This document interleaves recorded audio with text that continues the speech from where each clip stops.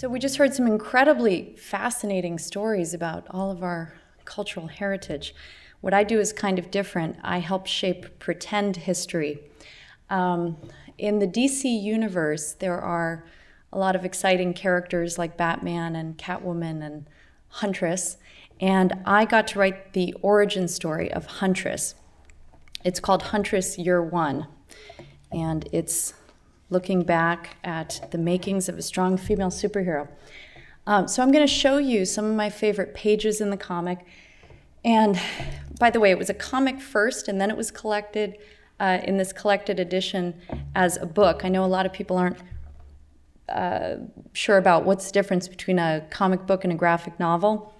Neil Gaiman said, I'm a comic book writer. Being informed I write graphic novels is like I think I'm a hooker and I'm told, no, you're a lady of the evening.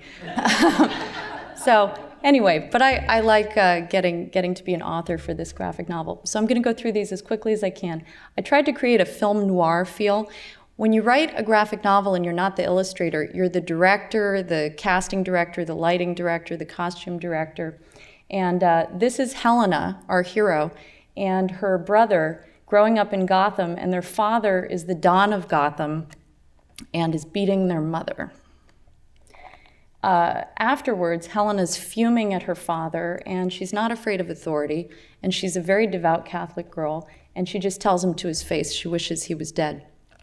A few minutes later, she actually does regret this because Omerta, an assassin sent from the boss of bosses in Sicily, winds up coming in and killing the entire family in the middle of this dinner, except for Helena. And this is that moment that all children in the DC universe go through where your entire family is murdered. And, and then you and then that sets you on a path, and eventually someday you become either a superhero or a supervillain. And the question is, which will you become? I'm not following my notes, uh, so I'll just I'll just do this without the notes. Uh, so she is sent to Sicily to live with a family of assassins. Uh, and uh, she has this incredible tutor who I actually modeled this woman after a famous uh, Italian movie star from the 50s.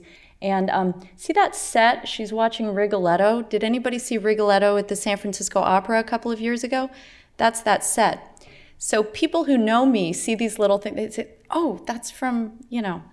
Uh, so anyway, let's see. So she's in Sicily, and she. Oops, I think I missed one there. Oh, no, okay.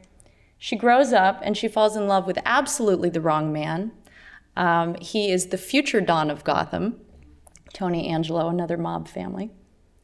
Uh, she, um, this very elderly gentleman is the boss of bosses who tried to have her entire family killed, but for some reason she was spared. And now she's all grown up and he'd like to have her killed now. And his second in command, a man whose nickname is the Pope, he's not the Pope, but he, anyway. Uh, does anyone recognize uh, the photo reference I provided for that was John Forsyth during his dynasty years? it's anyway. Okay, so um, so anyway, um, and there's some there's some fun mafia talk here, misogyny, hilarious. Um, okay, so she eventually gets a costume together um, and uh, goes to confront Stefano Mandragora because he ordered the hit. She finds out he ordered the hit on her family all those years ago. And um, he says, I can't read this from here, but he says something along the lines of, You must be an American. We don't have capes in Italy. Um, and can you read the dialogue from the audio? No? Oh, that's too bad. Okay. And uh, so, anyway, but she actually has been raised in Italy, but that is a, a, an American phenomenon.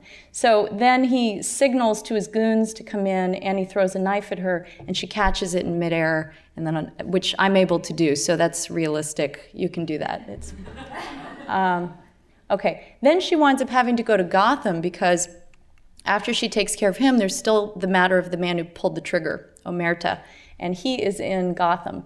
So she starts to encounter all the Gotham characters. She vowed she'd never go back, but here she is. And uh, Catwoman is basically telling her, I'll help you out, but you have to remain independent. That's what I want. I don't want you to work for me or the bat.